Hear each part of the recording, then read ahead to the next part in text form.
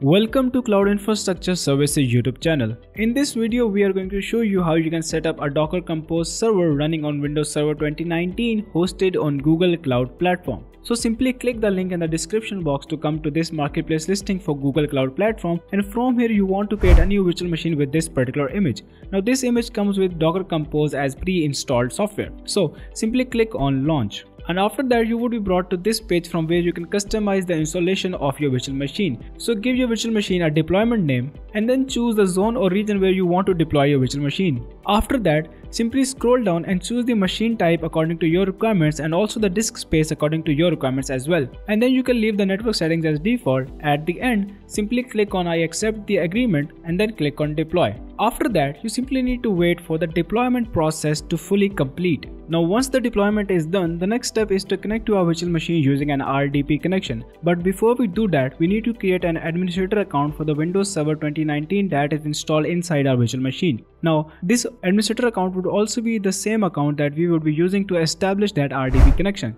Now to create this account, simply click on this arrowhead icon and then click on set Windows password. And then it is going to ask you for the username, so provide yourself with a username and then click on set. It is going to take a few moments but it will provide you with your password with this particular username. So when it shows you your password, copy this password and store it somewhere safe. After that, you can close down this dialog box and then click on this hamburger icon and then click on compute engine. In here you would see your newly created virtual machine. So what you're going to do now is that you're going to simply copy this external IP of your virtual machine, then hit Windows and type a remote desktop connection and then you're going to paste that external IP in front of this computer field. Then you're going to click on show options and then you're going to type in your username and then click on connect. After that it is going to ask you for your password. So paste in the password that you had previously stored. After pasting in the password simply click OK and if prompted hit yes and then wait for the connection to be fully established. Now once the connection has been established you also need to wait for the Windows Server 2019 to completely load as well.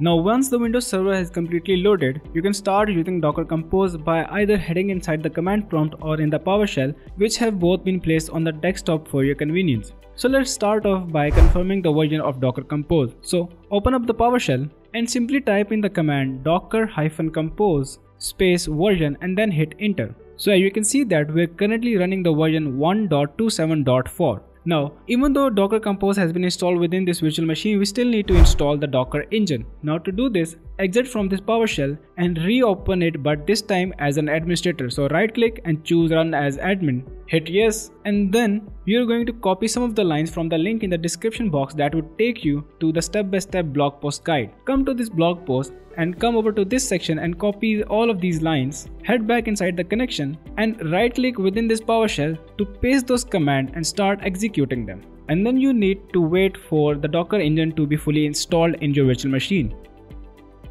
Now on this last command which is start service space docker you might get this error but that is totally okay you just need to restart your virtual machine. Now to do this simply exit from this remote desktop connection head back over to Google Cloud, click on these triple dots and then click on stop and then click on stop once more to confirm your actions. Then wait for the virtual machine to be fully stopped. Once it is stopped, you need to restart it. So once the instance has been stopped, again click on more actions and then click on start. And then click on start once more to confirm your action. And then wait for the virtual machine to be started once more. Once the virtual machine has been restarted, you need to connect to it once more.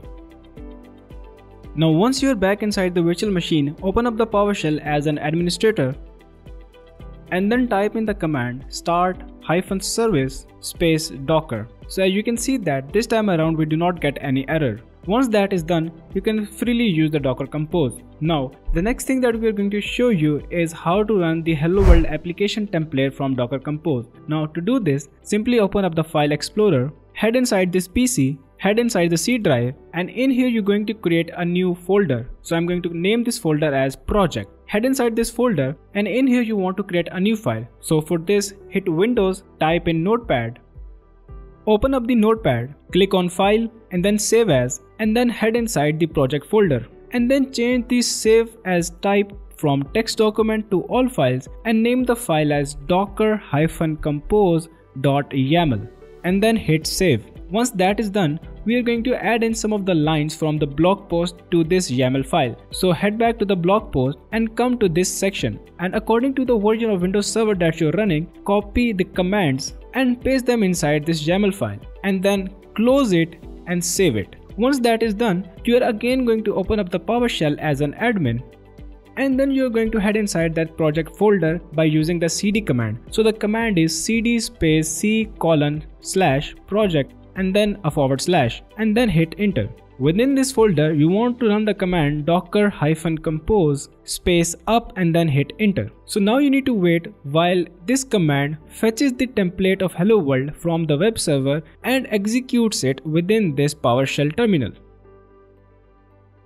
Once everything is done, you would see this on your PowerShell terminal. It says hello from Docker. This message shows that your installation appears to be working correctly. So this is the hello world application from Docker Compose. Now that also brings us to the end of this tutorial. Now if you have any queries regarding this tutorial, make sure to leave that query in the comment section down below and we will get to you as soon as possible. And make sure to check out the links in the description box for the marketplace listing for Google Cloud Platform and also for the step-by-step -step blog post guide on how to set your Docker Compose on Google Cloud Platform. And finally, if this video has helped you in any way, make sure to leave a like and subscribe to the channel.